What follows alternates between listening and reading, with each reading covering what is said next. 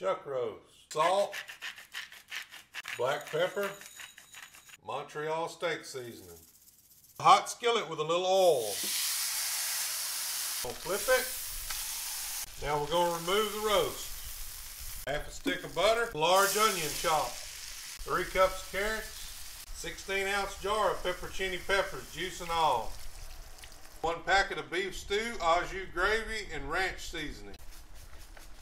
15 ounce can of tomato sauce. Fill the can halfway full of water and wash it out. Got everything stirred in, you want to let this simmer about five minutes. Into your crock pot, you roast. Pour that juice in there and pour all your gravy mixture in. Crock pot on high, lid on, eight hours.